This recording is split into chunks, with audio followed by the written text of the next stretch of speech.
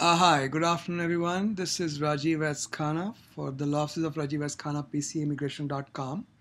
Today is August 16th, 2012, and this is a community conference call. By participating in this call, you don't become our clients and we do not become your lawyers. This is an information exchange session, no obligations on either side. Please note that your voice will be recorded, so if you ask any questions, you may want to conceal your identity by making up a name or by concealing specific facts of your case. That said, let me get started on the questions that have been posted. First question is from Tamara Finkin, or yeah, Finkin, one. It says, My mother made an application for my sister and myself along with our children, one child each, and we've been waiting. See, there's a lot of a lot of issues here that are not clear. I hope you're on the phone and maybe we can talk. Uh, a lot of things that, that are not clear to me are which country are you from? Which category, you know, eh, eh, that would determine the category, um, you know, uh, of and, and the waiting time. And I have at the end of this thread, if you look at the end of this thread, I posted a link for you. So if you look at the visa bulletin, which is what that link is to, here, here is the link uh, right here. So if you go down to the thread, read the visa bulletin. It tells you the availability of visa numbers for the country that you were born in. Okay, so I really don't have enough information to give you good answers.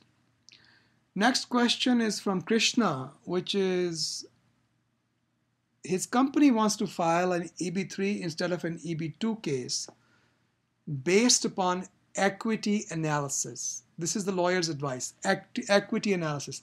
I have never heard that expression, sir. Um, either my education is um, deficient or your lawyers are using terms that are not known in immigration law. Okay? So, the quote that you showed me, and I have also posted a message at the end of this string, this quote makes no sense to me. I don't see what the relevance of filing an EB2 with so-called equity analysis is. I've never heard of this term. So my advice to you is get a second opinion, get your lawyers on the phone. Uh, either they know something I don't know or they don't know what they're doing. It's one of the two. Okay. Uh, so obviously we have to give everybody the benefit of the doubt. Maybe there is something in the company policies that your lawyers are better familiar with and have not been able to explain properly to you. Okay. Next question is, I just finished Krishna's question. Next question is VIGDMAB, WIG DMAB. I am H1B holder since 2008. Currently in India, got the stamping in the passport. I want to resign my job and travel to US on a dependent visa, H4. My husband is also an H1B holder. Four questions. Number one, in case my employer files for a cancellation, does it mean I don't have an H1B at all? Yes, that's what it means. Two, in case of one, does it mean I, if I try to find a job, new employer needs to apply for a new H1B against a cap? No. No. you will be cap exempt if a new employer wants to find a job and you know they want to convert you back to H1B, you are not subject to the cap. You become subject to the cap only if you've been physically outside USA for one year. Mere revocation of the H1 by the earlier employer does not take away your exemption to the quota. And I'm, of course, I'm assuming that your uh, employer that you are currently employed with is a quota employer. If they are a quota exempt employer, the answers would be different. So if they are a normal quota employer, the fact that they have canceled your H1 does not take away your exemption from the quota. So you're fine. Three, when I'm on H4, will the, will the time be counted against my H1B? No. H4 is no longer counted towards H1. Four, is it advisable to travel on my H1B initiate the H4 process immediately once I'm in the US and then resign? Um, that's a tough one. That's a really tough one.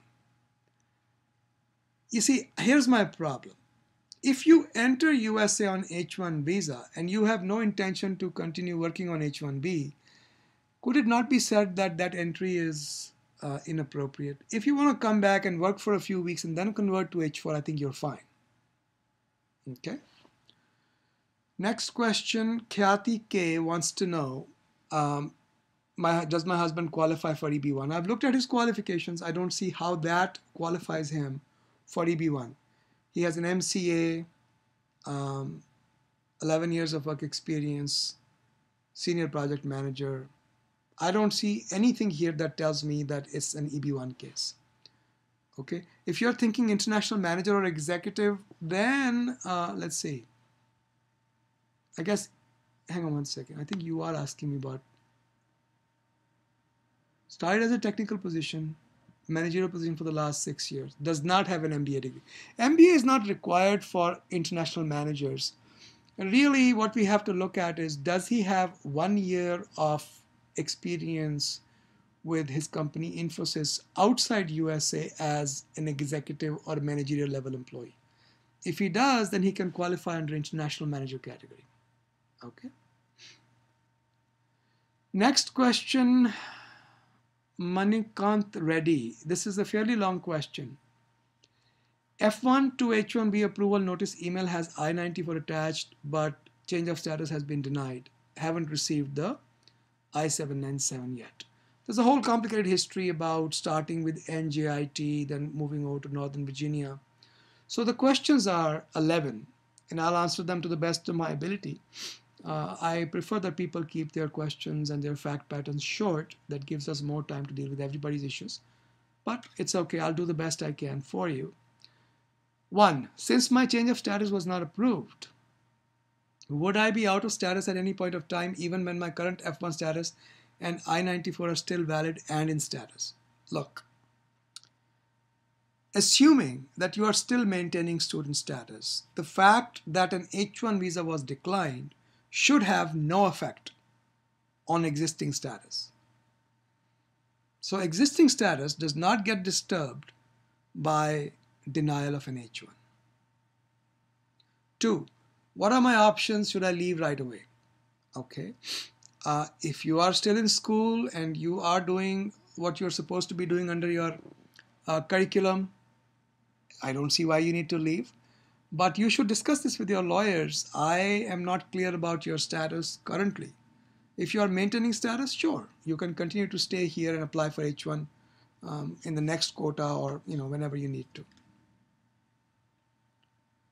Can I continue my education and continue my doctoral program on my current status? See, that's a little complicated here. I there are a lot of things here that I'm not sure about because CPT, Northern Virginia CPT, they didn't like that that could be a problem. There are a bunch of issues here that I can't really uh, categorically comment upon without looking at a whole bunch of different things in your background. I think you should talk with your lawyers, uh, figure out some of these issues. The UNVA, the fact that you have a denial of change of status puts me on alert that USCIS considers you to be out of status. Why? Until we get the notice, we wouldn't know. So if you're out of status, then your best bet is, of course, to leave USA, uh, assuming that you're not subject to any kind of unlawful presence problems. You should leave USA and come back on H1 visa or whatever you can get. But I have a video on H1 visa issues. Is it a video? I think it's a video or it's, it's, it's in my blog. And H1 visas are not easy to get. So go take a look at that also. Okay. Uh, three, can I continue my education? It all depends whether you are in status or out of status. I think you should wait until you get that um, I-797 in hand, then you will know better. Does it mean that my master's degree from UN, UNVA did not hold any good? When I started my master's, UNVA was accredited. Uh, wouldn't that implicate my degree was genuine? Well, does it imply that your degree was genuine? I don't know the answer to that question. All I know is that you do not have a final degree which is accredited. So that puts you in a position where your degree is not recognized by the government. Okay. Uh, Does doctoral program hold any immigration value? I don't know the answer to that question. Is the doctoral program accredited? If it is not accredited, then of course it has no value under immigration law. Can I apply for EB1 category green card? By the way, uh, EB1 category green card depends upon a whole bunch of things, not just a degree. Okay. Uh, on our website, we have a fairly good write-up on what EB1s are. Take a look at that. Six, if I pursue another master's degree program from an accredited college, university, would I be eligible for OPT program then? Um, I believe you get OPT only once for one program, but you can double check with the DSO. I don't remember the exact details. Can I apply for H1B under specialty occupation with the new degree?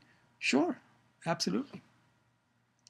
At any point in the near future, while I'm still on F1 visa and continue my education, if I leave to my home country, will this H1B COS decline have any impact on my I-94?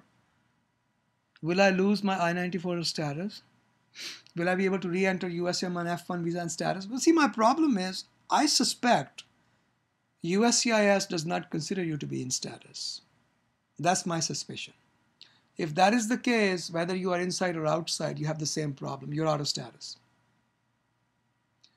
Can I cancel my H-1B approval and choose to stay in current F-1 visa status? If you have not been given a change of status, um, you are not on H1. So there's nothing to cancel.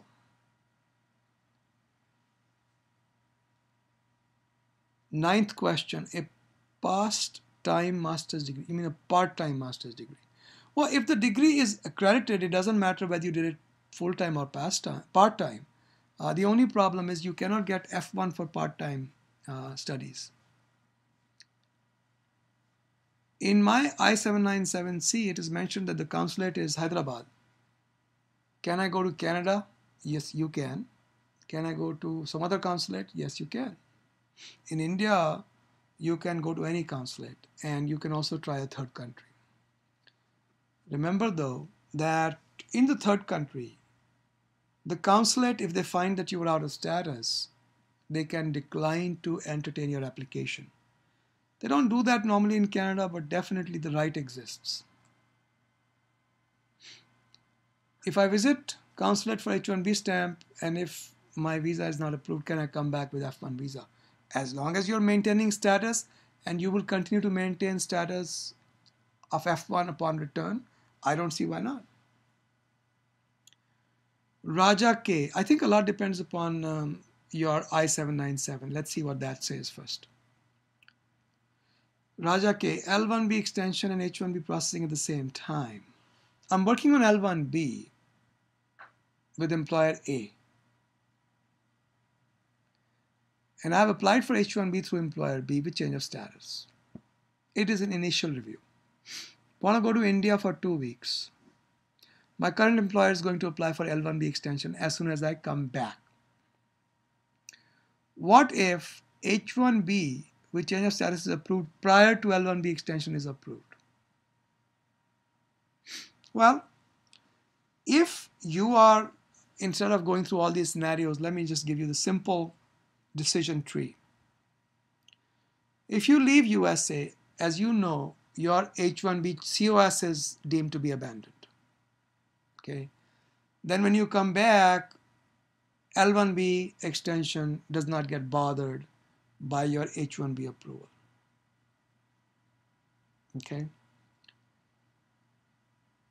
If H1B,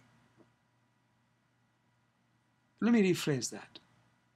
If by mistake they approve the H1B um, with change of status, your only option is to go outside USA again and come back on L1B visa or apply for change of status back to L1B.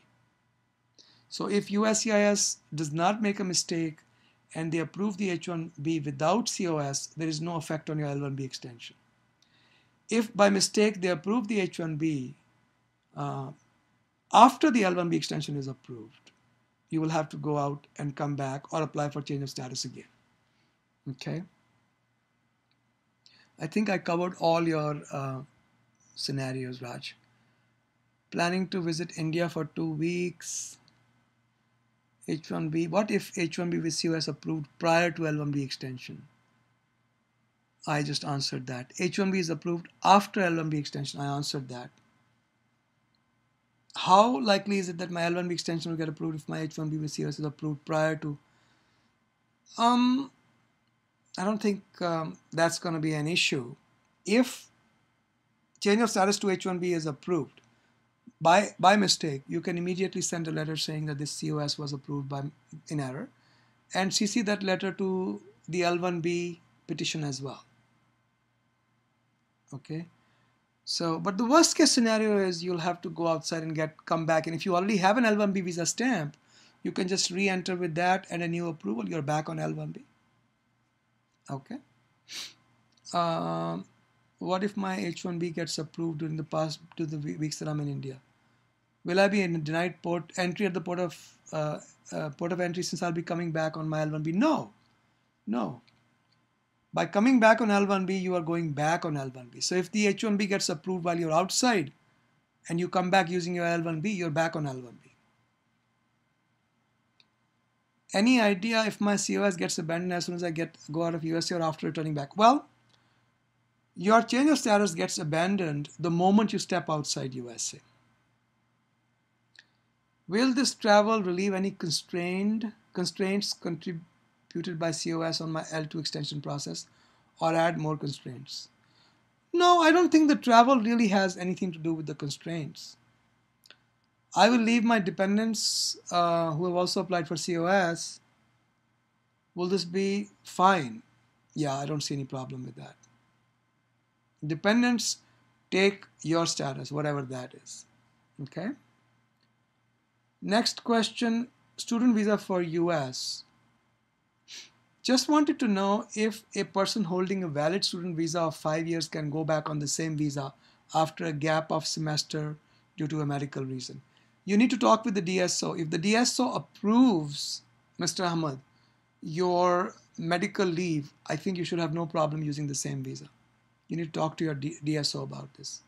Super Fantastic has a DV question. I'm sorry, I have absolutely no knowledge of DVs we don't take these cases because in most of them a lawyer is not needed. EB2 for October, I have no idea, sir, um, what the date of the movement of the dates is going to be. Everybody reads the same visa bulletin. You're going to have to rely upon the Department of Labor's predictions. B1 visitor visa question. In-laws came on a B1 visitor visa, 10-year visa. Mother-in-law is planning to extend it for six more months. I have some material on my blog about visa extensions and how they are usually a bad idea. Because if she extends it and she's here for almost a year, then if she wants to come back again before at least one more year outside USA, she will have a problem.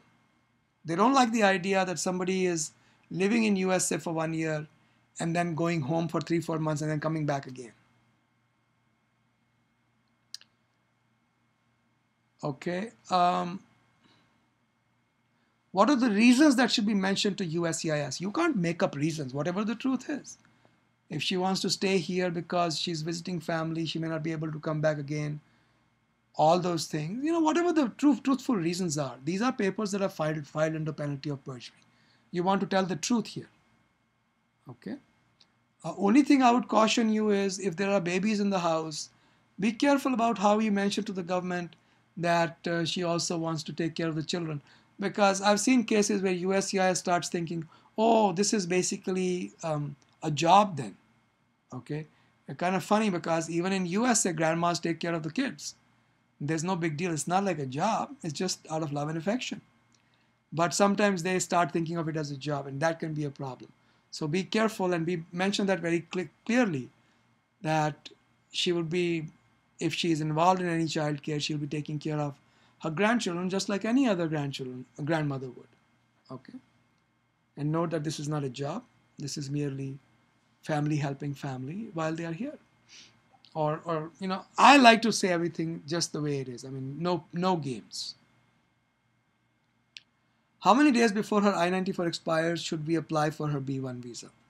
Well, if you look at the regulations, I remember there is a regulation somewhere that says you have to apply or you should apply no earlier than 60 days before the I-94 expires uh, and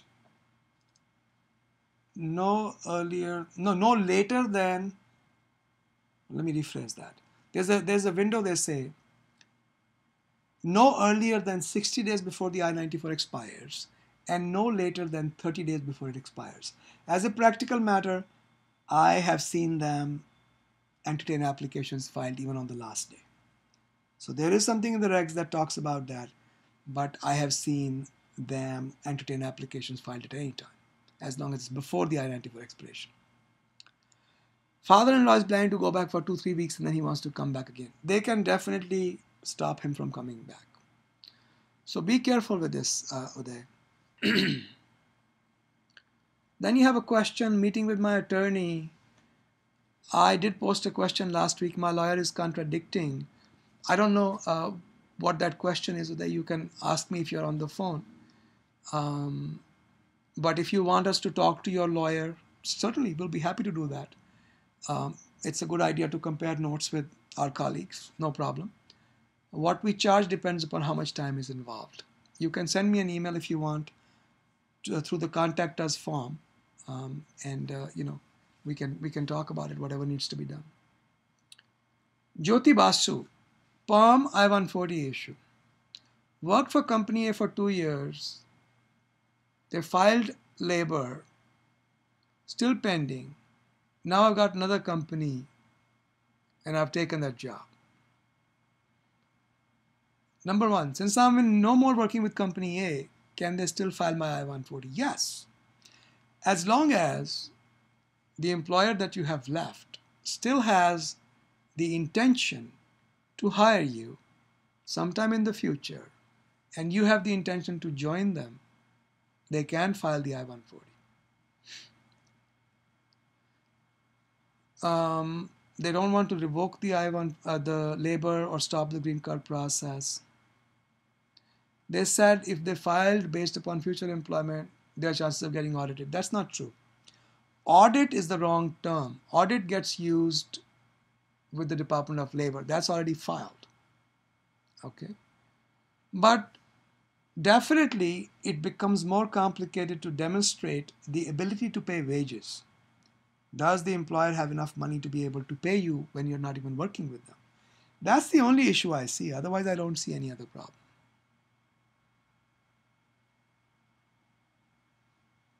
And I I don't think their reasoning is correct. I think they should talk with their lawyers.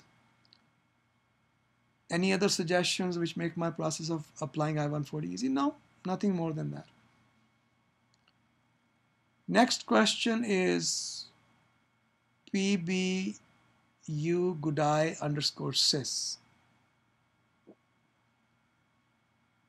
Working in an IT company,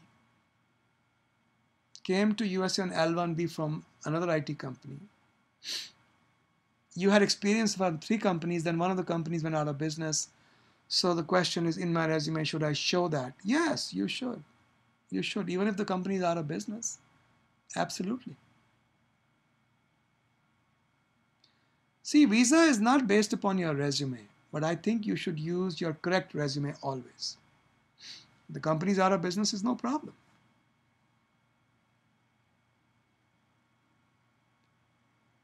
Eligibility for EB2 category from Kamlesh 21. You have a bachelor's in industrial production engineering. I'm assuming that's a four-year degree after 12th standard. If so, you should be able to apply for EB2 because you have seven years of experience. Yep. Looks like you should be able to do an EB2. Anand GS. My GC got approved five months ago but my H-1B amendment got denied. Who cares? You've got your green card. No problem at all, Anand. Congratulations. Shikha dot lovely. Okay. I-94 was the same date as my L-1B, but then when she went to India, they have given her I-94 more than her petition, which is not what they should do. That's wrong. Is there any way I can get a new I-94? Shikha, I'm assuming that you want to apply for an L-1B extension. You can apply for it within six months based upon your I-797, your L-1B approval. You can ignore the erroneous, erroneous I-94 and in the paperwork point out to the government that the, L, that, that the, that the L1B was only good till point X and that the point Y on the I-94 is an error okay? So that should take care of it. Let me just double check I've got the facts right. Okay.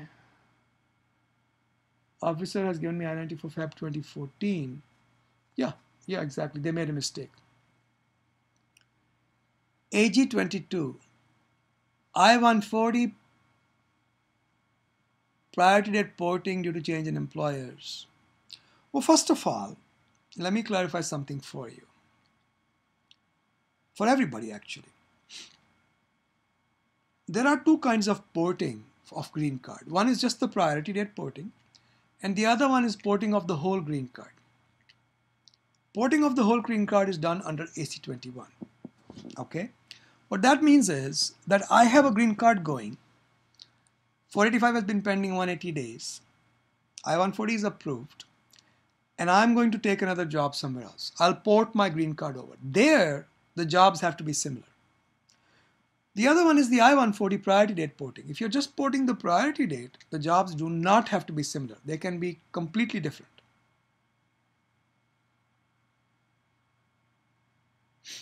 So I'm looking at the rest of it. Yes, you should be allowed to keep your priority date because your I-140 is approved. How much does it cost to revoke the I-140? Nothing, just a letter. Is it true that sometimes USCIS issues new I-140 with new priority date? Yes.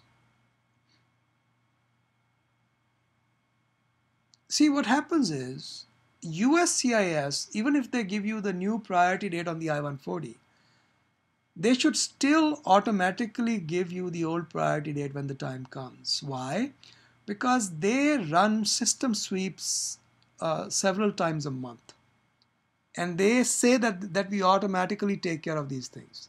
So even if your your i-140 has been issued with the new priority date um, when the old priority date becomes current they should automatically um, start working on your i-485 okay? Uh, Kumaran K switching from AP to H4 wife entered with her AP in March AP expired in April. We did not apply, apply for a renewal. She wants to travel again. Okay. If she does switch to H4, would that create any problem with her I-485? No, not at all. She can, if she wants, be outside USA and get her H4 visa stamp to come back. Although I'll tell you something. I prefer that she get her AP approved before she goes. What if the H4 is denied? She would have no way of coming back into USA. Okay. Next question, Cool KK. Visa is ex ex ending in August. Employer A is applying for extension. B is going to apply for transfer at the same time. Is this a problem? No, no. The law regarding quota does not allow a quota employee to file multiple cases through the same employer. Same employer. Different employers, no problem. A. Beatty will, when parents get immigrant visa, will the dependent children be granted the same immediately? No. No. When your son, who is a US citizen, applies for you, only you not your wife, not your children, get the green card automatically. They have to be applied for separately. And the times are in the visa bulletin. Mutu 10 has a domestic battery case. I cannot answer questions about how to fill the form. That's a problem. Okay, I can't really do that. Uh, but N400 requires that you must demonstrate good moral character. And if you have a conviction of uh, a domestic battery, even though you call it deferred adjudication and all that, a deferred prosecution, there is a whole lot of things that we have to look at to decide whether or not this is a conviction. So, the very brief answer to your question can this be a problem for my N400? Probably yes. Is it an insurmountable problem? It depends upon the officer who's reviewing your case. So, when it comes to deciding upon whether or not you have good moral character for citizenship purposes, um, let me rephrase that. My mouth is getting a little lazy. Citizenship purposes, for citizenship purposes, they can look at many different factors, not just a conviction. Even the fact that it happened can be a problem for uh, for um, good moral character. Should I apply now and get it over with? Yeah, I think you should. Should I get a lawyer or not? Why? Well, that's up to you. I certainly think you're going to need a lawyer somewhere along the line. I prefer that you get a lawyer. And you should get a lawyer locally where you are if you want them to go with you. Because if you hire somebody out of town like us, we'll not go with you to the N400 interview. A lot of people don't care about that, but some people do want their lawyer to go with them. Such people should hire local lawyers. And of course, if you want a second opinion, you want to retain us for something, you can always do that. We can work with your lawyer. Next question, Koga underscore 1984. H1B transfer with I-797B.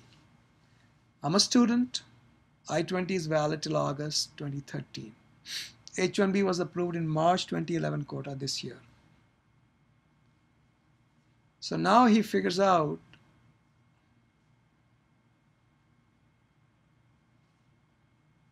he did not get change of status, I guess.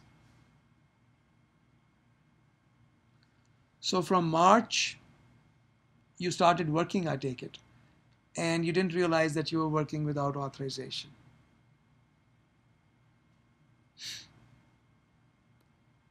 You know, I think you need to get in touch with your lawyers. This is again there is an issue of unlawful presence. It doesn't look like it applies to you because you have an f1 status which is valid till august 2013 um, but somebody needs to look at the law. I don't remember exactly what the how the law applies when it's a change of status case. Does the old i-94 still protect you from unlawful presence? I don't mean to worry you but i just want you to have your lawyers take a look at it. They need to look at every aspect of your case to make sure uh, if you're trying to go to Canada or India to get visa stamping, you're not going to be subject to the three or 10 year bar. Okay, so should a new company file for a change of status along with the transfer petition? Oh, I think you could apply for a transfer now um, and leave USA, and then when the transfer is approved, it can be sent to you, and you can come in with the new H1 visa stamp. That might be a good way to do it. Mini 117 says US citizen husband walked out of a marriage after nine months. No problem. You see, the law requires only that the marriage, when entered into, was entered into in good faith. In other words, your daughter was not trying to get fancy with US immigration laws. So the fact that she brought in all her money and put it into a joint account all of that seems to suggest that this was genuine marriage. I suggest you read the instructions on Form I 751, I 751. It's a good idea to read through that form. He cannot withdraw his sponsorship. I don't think that's going to be a problem. You should look at the Form I 75 instruction, I 751 instructions and maybe even have a consultation with a local lawyer and see if they suggest anything concrete. H1B one year leave of absence. Sue wants to know I am on an H1B taking a leave of absence for one year. Can my employer apply for H1B extension while I'm, I'm, I'm outside USA, I guess? The answer is yes. Will being on leave of absence without pay be a problem? I don't see that as a problem at all. You have an EAD AP uh, so that will not help me return in September 13. One problem, Sue, if you're outside USA without a valid advance parole and an H1 visa, you could have an abandonment issue of your of your 485. So be mindful of that. That could be a problem. If my green card gets approved in the meantime, can I enter on H1B? No. Once the green card is approved, you can have the green card mailed to you. I've seen that happen with people. I don't know how legal or illegal that is, but certainly people in your situation have done that. If you want to be even more clear about this, call CBP, Customs and Border Protection. See what they suggest. They're usually pretty receptive to phone calls. Last question is my test. How can I know if my visa is cancelled?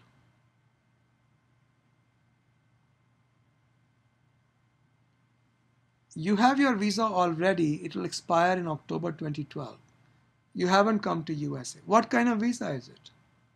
I need to know more about that. So tell me what kind of visa it is. All right, folks.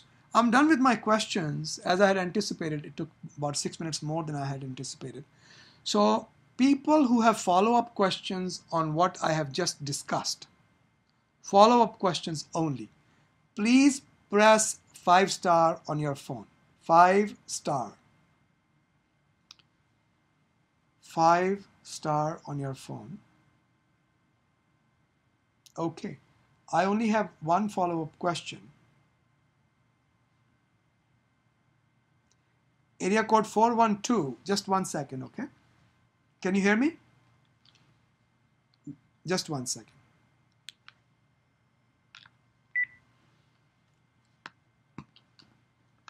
Can you hear me? Hello? Okay, go ahead. What is your question? Uh, so this is this is not a follow-up question. Uh, I actually had a question uh, for myself. Um. Well, hang on one second. Uh, obviously, nobody has a follow-up question, so I can start taking new questions. Then, go ahead. Whatever your question is, go ahead, please.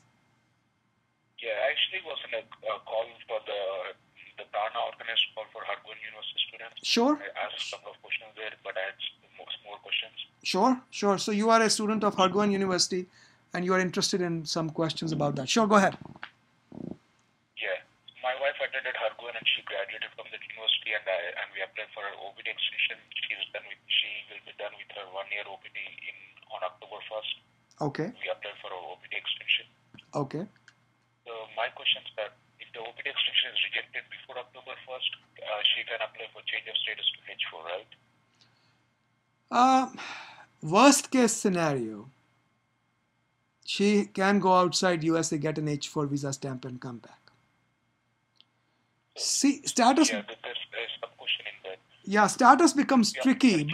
Wait, wait. Status becomes tricky because we don't know at what point, what point of time USCIS will consider her to be out of status. Is it from the very beginning of the OPT or her student career? It's impossible for me to say at this point of time because remember, we also also don't have any definitive word on what they are doing with the school. Like I said in the conference that we had, we don't know what they're doing with the school. Okay, so status becomes very difficult for me to define at this point of time until I know more about what they're doing with the university. They officially gave, uh, uh, issued the right? So that means They can still they can still go back on it. They can still go back on it. Okay, so you mean even if our OPT is rejected before or after October 1st, and we apply for a change of status to H4, even if it is approved, we she still will, be out of status. What I'm saying is they may not give her H4 within USA.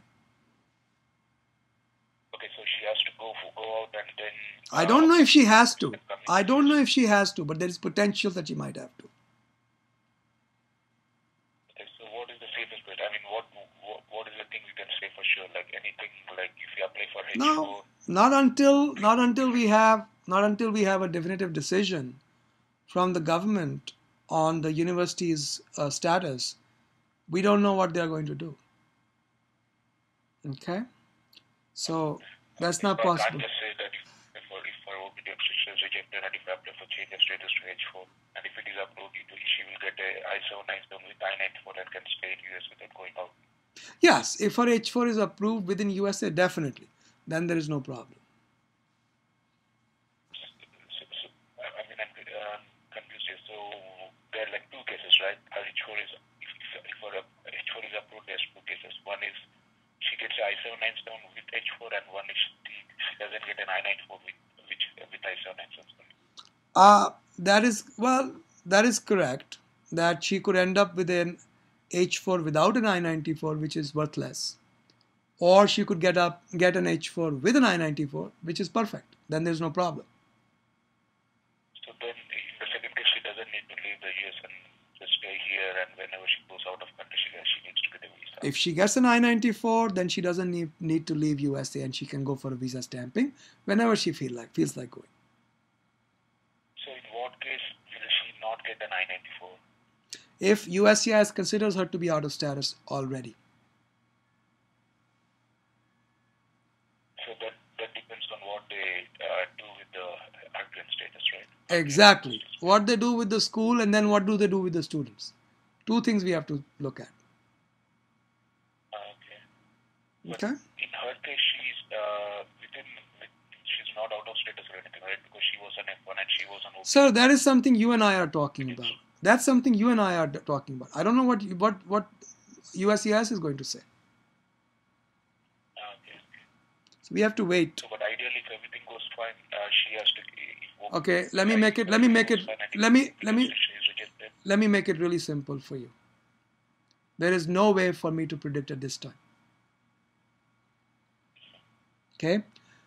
Only thing that is predictable is if she wants to go for an H4 visa stamping now, she has the right to do so. Will she get an H4 visa stamping? I don't know. Even for people who have no problem, H4 visa stamping is uncertain. Uh, as long as you are maintaining status, your case is straightforward, she should get an H4 visa stamping.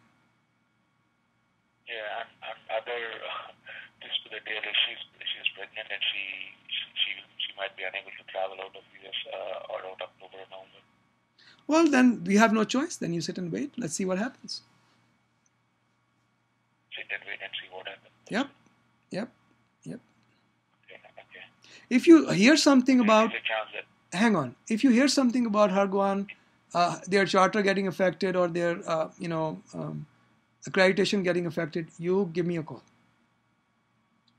okay, sure. Until we know that, yeah. Worst case scenario, we send her out. Yeah, but I mean the worst case is our OPT extension being rejected and we apply for H4 and then we get an H4 approval or rejection and approval without I-94. See, the, the good news is, even if something bad happens, she'll probably still have a good 180 days in during which nothing permanent, da- no, no permanent damage occurs.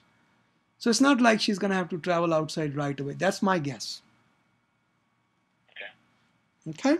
Let me take the other calls at this time. H4 rejected, she'll get some time. Yeah, not the H4 rejection. No, this is a little bit more complicated than that. But nothing is gonna happen overnight. Don't worry. Something happens with the school status, you give me a call. Okay. Yeah. Yep. Yep. Good luck to you, sir. And, and one last question, sir. Uh, so if we visa, she can go there and get the stamp done and then come back here, right? Theoretically, yes. Practically, I don't know. It all depends upon whether Canada wants to give her a visa or not. Yeah, but ideally that's the best option. The best option to travel. Uh, that's that's a good option. I do not know what the what best option is because I don't know what future holds for the university. We keep going round and round in the same thing.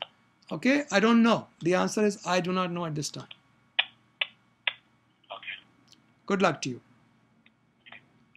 Thank you, sir. You're welcome. Okay, we have. Okay, one, two, three questions.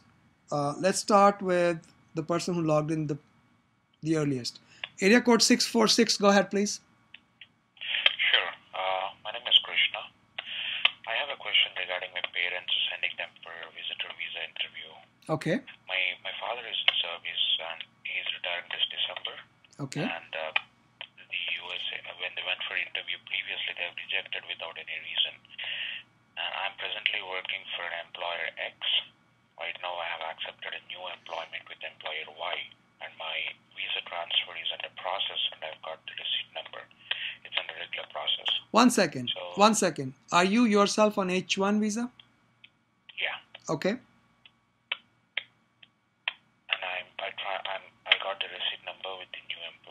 Got it. still uh, didn't get the new I-797. Okay. So I'm planning to send them for an interview in September again. So is it safe for me to send them? Well, you know, couple of couple of issues here. First of all, your status as being in between a transfer has little bearing. I'm not that concerned about that. What I am concerned about is the fact that they've been declined a tourist visa earlier. That does not look good for any future grant. Once they have declined the tourist visa, and I'm assuming it's on the ground that they could become immigrants in USA. They- Yes, and I also the, financials I only showed is about only eight thousand dollars um, as per the bank statement. Well, that usually is not sufficient problem by itself. But in any case, the earlier denial, unless it is for grounds unrelated to immigrant intention, they become a problem for future tourist visa. So I'm not that, that worried about the transfer status that you're in. I am more concerned about the denial. Okay, because they didn't ask any questions or any documents or NOC certificates from my father because he works for a government uh, organization and he's retiring in December. He, they never asked anything. They just saw my H1 papers and then uh, they just uh, said uh, sorry. Well, it looks like they might have a shot if that's indeed the problem. So I wouldn't worry so much about the transfer. If you are worried, and I, I'm not sure how much I am concerned about that part, you can always premium the case and just get your H1 approval, I guess. Okay, but it is, it is safe that I can send them and uh, they can explain there, saying that uh, he'll be retiring in December and he needs to come back and my and he um, and my daughter's uh, birthday is coming on October 30th, so they'll be visiting US for my daughter's birthday. So, you know, it's not possible for me to say what is safe, what is not safe. Your question regarding safety relates to your in between status of the transfer. I feel that the fact that he's retiring is much more of a problem. Okay? Not so much the H1 status. So the bottom line, my, uh, uh, in my opinion, Krishna, is this. The only way you are going to find out is have them apply. We don't know what's going to happen. Okay? Okay. Good luck to you. Sure. Bye bye. Okay. Um, I have, let's see, five more questions. Let's go to the next one. Okay. Area code 940. Oops. It went up again.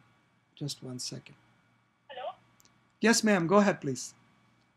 Yeah. Uh, hi, Rajiv. This is Shikha. Uh, this is a follow-up question for my question number 17 uh, from Shikha.Lavdi. Uh, I uh, asked that my I-94 date is more than my L1 blanket expiry date. Right. So, uh, you talked about something I-797 form. Uh, like, I'm not sure what is that because I don't have that. You see, what I'm assuming is you said initially my I 94 was the same as my L1B expiry date.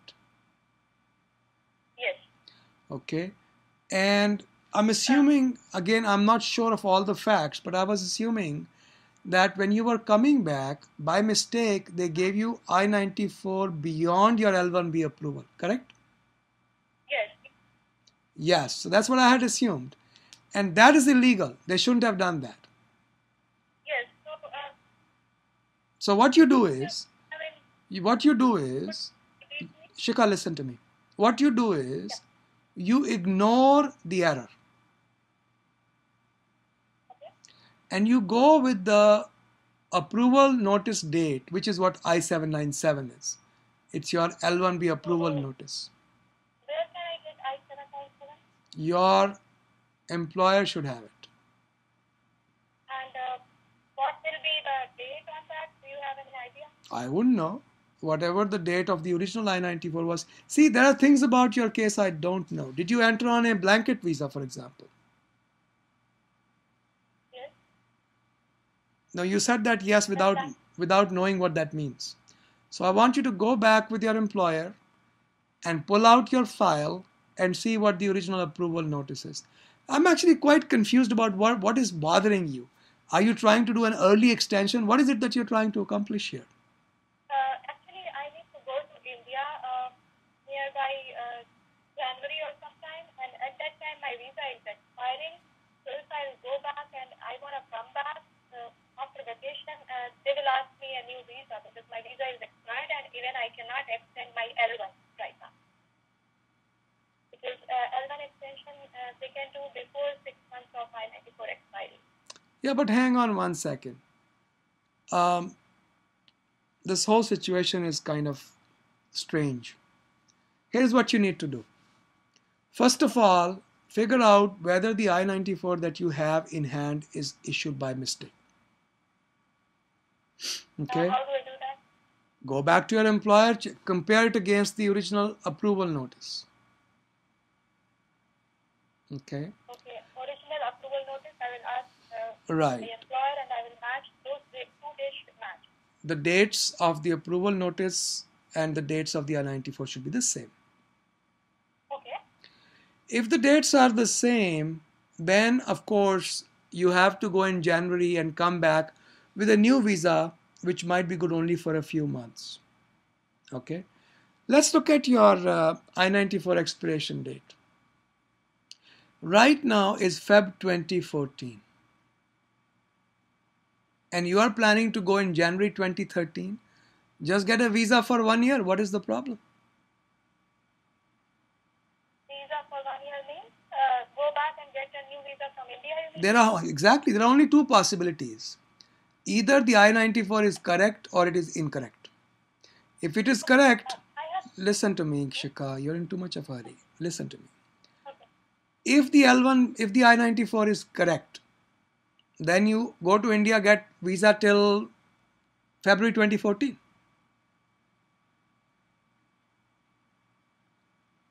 With me so far? Yeah. Uh, I uh, like I heard another option uh, from somewhere like uh, we can go to CBC and uh, can. Boy, you know, hang on one second. Hang on one second. We are actually, you are jumping way ahead of time. See, the problem with internet is people get information, but they don't know what information is good and how to apply it to their cases. That's my biggest problem with the internet. Okay? What I'm telling you is, you need to figure out is the I 94 issued correctly with the right dates or is it issued incorrectly? Are you with me so, so far? Okay, don't don't tell me what you know. Just listen to what I'm telling you. Don't tell me what you know. Just listen to what I'm telling you. Yes. Yes. If it is correct, that means your status is good till Feb 2014. Correct? Right. Then you go to India in Jan 2013 and get yourself a visa till Feb 2014. Okay? Uh, get my visa till 2014 means uh, L1 visa or Yeah. plastic visa, whatever my employer. L1B visa. L1B visa, Shikha. That's what you have. Yes. So I need to, if I will apply, it will again take like two, three months, proper time, whatever the time. Why do you have to apply if your status is good till Feb 2014? So, uh, get a new visa in the sense, uh, is get a stamp. Yes. A visa is always a stamp in your passport, nothing else. A visa is a stamp in your passport. Okay? So if your I 94 is correct, that means your status is good till 2014. You will go to India, get a visa till 2014. With me so far? Yes. Alright. If it is incorrect, Mhm. it has been issued for more time than it should have been, then you ignore the I 94, apply for an extension as soon as you can. Okay. If it is wrong, means I-797 will be having the same date as my blanket expiry date. No. No. Okay. No. I think, ma'am, you know what? Talk to your lawyers. This is not something I can help you resolve because I don't think you are following what I'm saying.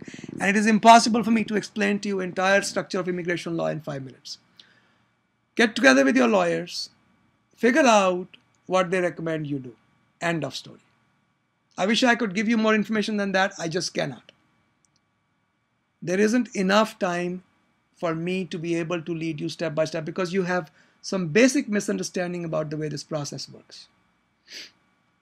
Listen to this recording when you have time and play it and replay it. What I'm telling you is very simple.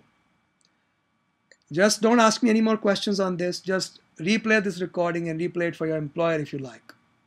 There are only two possibilities. I-94 is correct, which means it is the same date as your I-797, or it is incorrect. If it is correct, you just go in January, get your visa stamping. If it is incorrect, tell them to ignore the I-94, apply for an extension based upon the I-797. End of story. Okay? Play it again and again and again and you'll get it eventually. Let me go on. There's six, seven other people who are waiting. Good luck to you.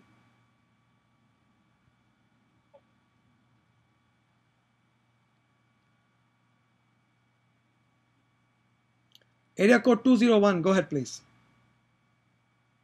Uh, hi, uh, this is Amit. Uh, actually, you know, I had a, you just mentioned this was a priority related question.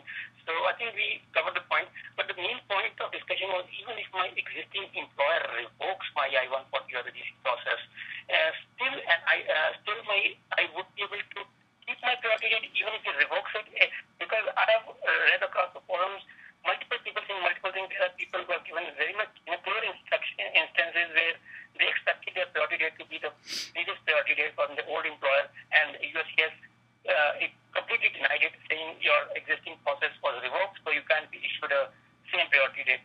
So this, uh, can you confirm confirm that if that Amit, go to go to my blog.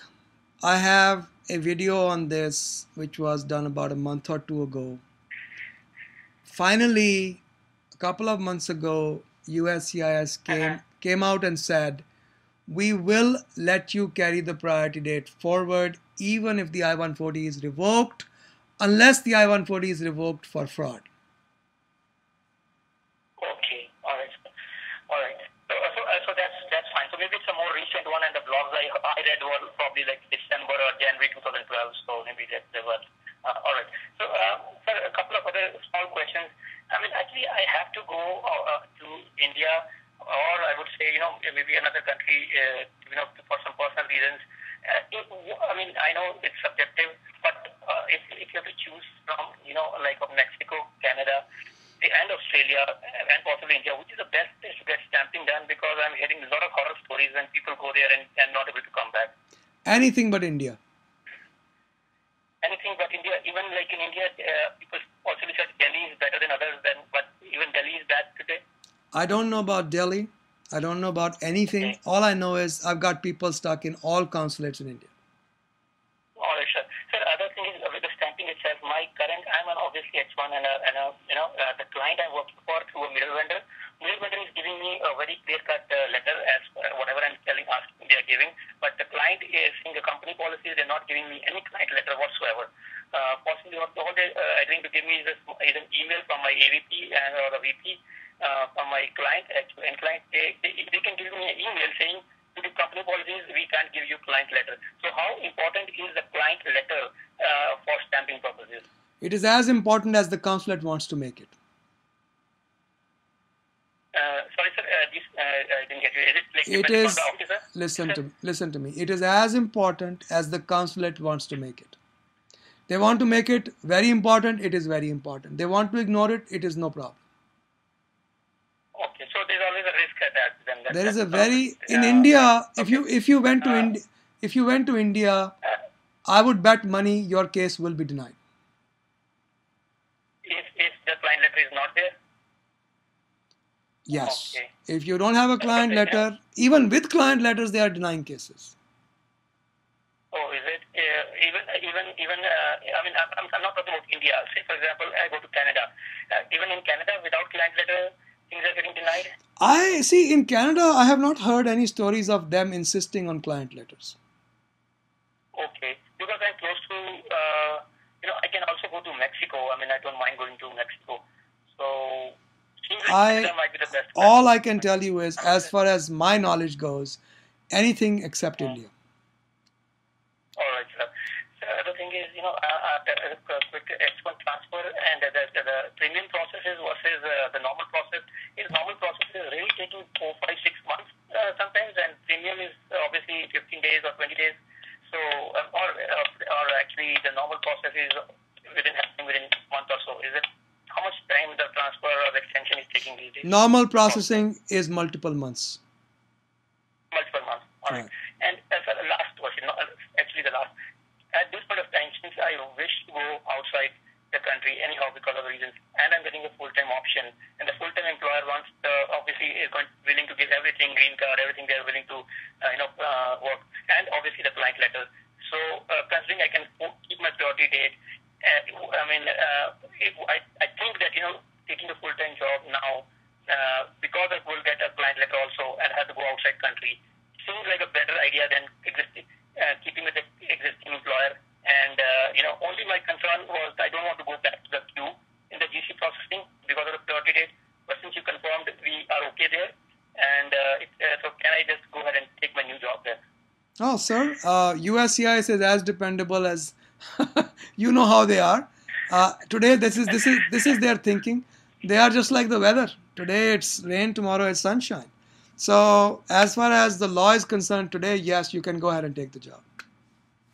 All right, I understand, but there's always some risk attached with the whole thing, shifting jobs, uh, because my priority is December 2010, which is not far away from what we had these two months. So, so I don't want to go back to the queue and add complexity to my case, but uh, I understand my guess is as good as yours, so, but it, becomes difficult to uh, assess.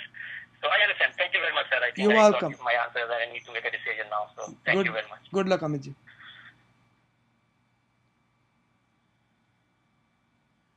Area code 908, oh, 908. Go ahead, please. Good afternoon, Vikas, ma'am. Good Thank you very much for answering all my questions. My pleasure. Uh, I have some following questions actually. So you said that uh, you know USCIS is considering me as an out of uh, as of, out of status as of now. So No, wait, wait, wait. Who are you? uh, Reddy, uh, sixth Mm, question. Sixth question. Give me one second. Sorry, Mr. Reddy, I didn't get your name, so that's why. Okay. All right. Yeah. I'm on your question. So, what is what is it that you're asking me now? Uh, you said that you know USCIS is considering my case to be out of status. That's why they have. No, I am only making a guess. What I told you was until we see the notice from USCIS, anything that we are talking about is basically just making guesses. Yeah, yeah but I, I spoke to one, uh, one other lawyer.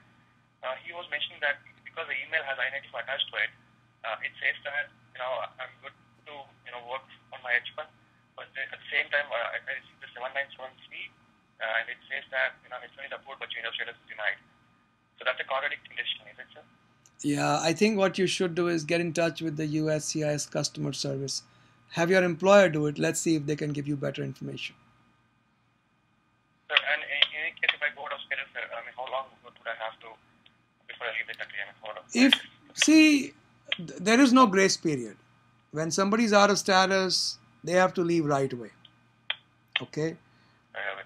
But there are I, I was I was under impression that we get an uh, 180 days from no, no, no, no, no, no, no. You are rendered deportable immediately, but permanent damage to your status and your ability to return to USA occurs once you have been unlawfully present in USA for 180 days. Then you can't come back for three years. Oh, okay, okay. Okay. So that, that's the case. Okay. Yep. So I mean, do I have a fighting chance? I do not know.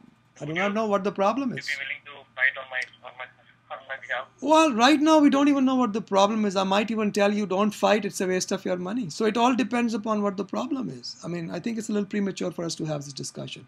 Once you get the once you I can get back to you on that. yeah, of course. Once you get that 797, feel free to let us know and uh, let me take a look at it. I'll see what needs to be done. Yeah. Thank you very much, Mr. Raj. Oh, you're welcome, sir. Very happy. Yeah. My my pleasure. Bye bye. Yeah, have a good day. You too, Mr. Reddy. Bye bye. Okay, we've got three more people in the line. Uh, area code 732, go ahead, please. Yeah, hi. Uh, this is Nishti. Uh, sir, I have just filed for my uh, citizenship uh, application application that is N400 for myself. I have a younger brother who is my blood relative uh, on an F1 visa. He is graduating uh, summer of 2013. I intend, after I become a U.S. citizen, I intend to file for his uh, you know, permanent residency. Could you please guide me into it? What- No, I, I don't think that's a realistic option because it takes 13 years for him to get green card. Okay. And Uh, and he cannot stay in USA or work just because you filed his green card. okay. So there is no way that I can file for his. File for his green card when he gets his H1 because he's allowed to have multiple green cards pending so that he can also apply through his employment, apply through you, apply through whatever else he can. Uh, whatever comes first, he gets it. But don't do it before he gets his H1. Okay. So once he gets his H1, that's when I can apply for his change of status. Yeah, he'll be just not change of status. You'll apply for his I-130, and Yeah, it'll, I-130. it'll stay pending for about 13 years, um, maybe more. So the thing is, having it filed through you gives him additional option. So not a bad idea.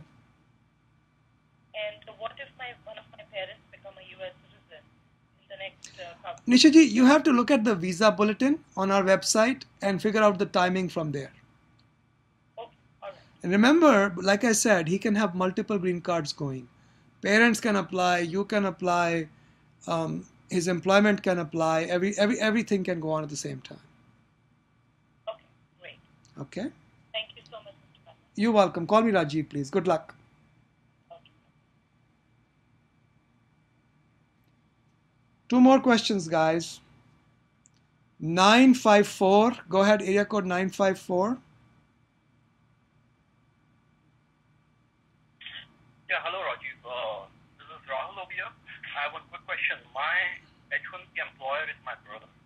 Now, uh, how safe it is to apply for a green card via him? Well, we have done um, four or five green cards for brothers and family owned businesses. How big is the company? Uh, it is not a big company over here, but yeah, the company registered in India is a big company. How many employees do they have in USA? In USA, we have uh, three to four employees only. Yeah, it's a it's a risky case. I I think it's a very long shot. It becomes problematic in companies that small to get a green card through family-owned uh, business. Okay. One one more quick question. Uh, what is the length of duration I can stay in India during my green card processing? And, And- if I take uh? Any amount of time, as long as the advance parole is valid. You see, the only question that remains is: Is the job in USA really a permanent job and still available? That's the only question. How long you stay outside is irrelevant. Oh, okay. Okay. I can come back to US uh, if my green card processing is, is, is if my green card is in process and I have a valid visa, right? You can, yes. Okay. All right. All right. Good luck to you. Thanks a lot. You're welcome.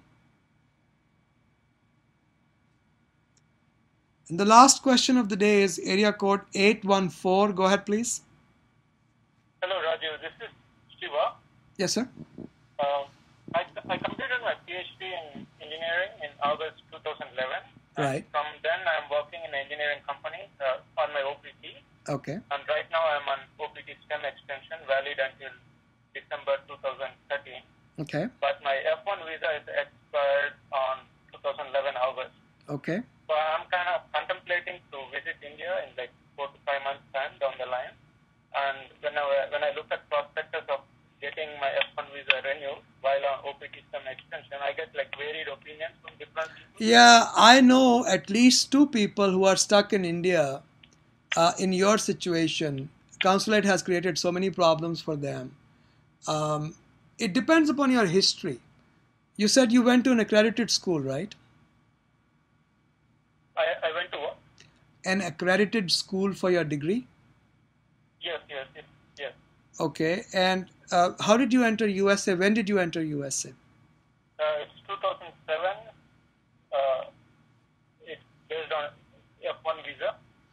You see, people who entered on F1 visa maintained student status, never did any um, anything that the government considers inappropriate. They have a better chance of getting F1 visa stamping. If I were you, I would try it from Canada first, because if they, well, no, not really.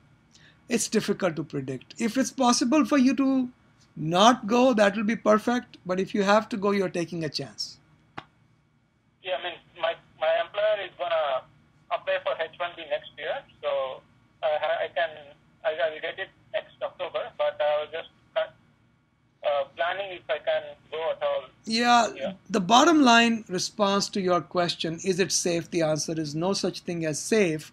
But as far as people who have obvious problem areas, you don't seem to have any. Okay? Okay. So I don't see any obvious risk, but there is always risk. Okay. Anything else? So yeah. Is it just to get it done in Canada or? No, see, I changed my mind because in Canada, if they deny you a visa, technically you cannot come back into USA anyway. Um, okay. People do it, but the law on the books says you shouldn't be allowed to come back to USA if there's a visa denial. AVR, which is automatic visa revalidation, doesn't work for cases like that. But as a practical matter, people do it all the time. Okay. So the best you are suggesting is, if possible, stay here and get your H1B. Otherwise, uh, it doesn't look like uh, there is a chance of rejection, but there is always a risk involved. Yes, sir. You have stated my opinion perfectly. Okay? Okay. Thank you very much. You're welcome. Okay, it looks like there's a follow-up question. I'll do this last question, then we are done. Area code 408, go ahead, please. 408? Hello. Uh, Sean, I have a follow-up question on the query posted by. Which is number, which number is that? Uh, I think 4 or 5. Uh, Okay. Where it says uh, my husband uh, is in uh, uh, a new GC for my husband where he's 11 years of experience. Oh, yes. Okay, EB1. Yeah. Yeah. So the question is, the point over here is like uh, number of years that he can stay is three years. The master's in computer application is three years, along with the. You see, wait a minute. For for inter, international manager category, degrees are not required. Okay. Okay. And I I I was uh, here in the US in a managerial managerial position uh, from 2009 to 2011, and then I went back to India for uh, 10 months. I was a manager there, and now come back as a manager again. So uh, You've got to have you've got to have at, at least one year experience outside USA, not a day less. but and is that a continuous period or can- Well, that's there's a big uh, debate about that. Uh, that's a gray area of the law. Um, if there is too much gap between statuses, it has to be continuous. But if it's just a month or two months here and there, it's not a problem. So assuming that uh, gas is okay, so if uh, there is an experience of more than one year outside outside US, then it would be eligible. Case would be eligible. Yes, it could be eligible if you have one year outside USA as a manager and you get transferred to USA also as a manager. Definitely. All right. Good luck, sir. You're welcome. Bye bye. I'll see you guys in a couple of weeks.